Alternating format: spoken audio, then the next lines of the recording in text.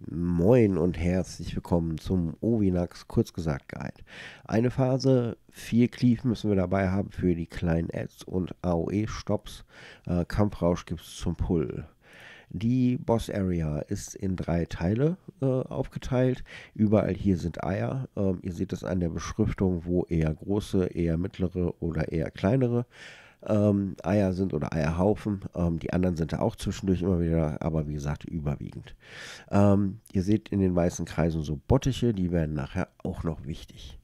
Ähm, die Ads, die aus den Eiern kommen, ne? die kleinen Eierhaufen spawnen vier kleine Parasiten, die rennen Leuten hinterher, versuchen die zu beißen. Wenn die das schaffen, gibt es zwei neue Würmer und außerdem Damage, deshalb C10 und schnell niederknüppeln. Das mittlere Ei, ähm, das ist so ein längliches, da kommt ein Wurm raus, der die ganze Zeit versucht, Raid Damage, äh, einen Raid Damage Zauber durchzucasten.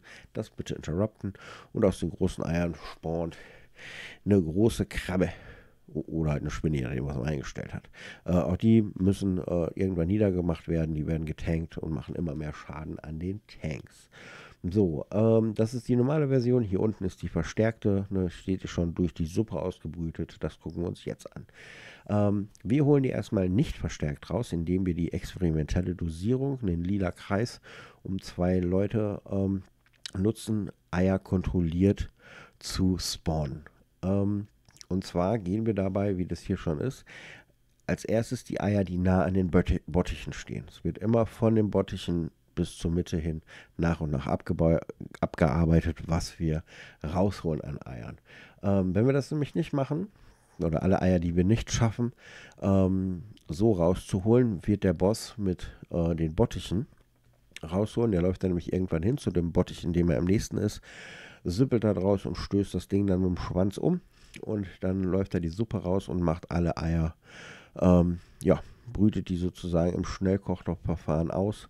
Ähm, die werden verstärkt und außerdem gibt es, wenn die Dinger, wenn die äh, Eier platzen, ordentlich Raid-Schaden. Das möchten wir nicht. Ähm, die dritte Fähigkeit ist relativ äh, langweilig.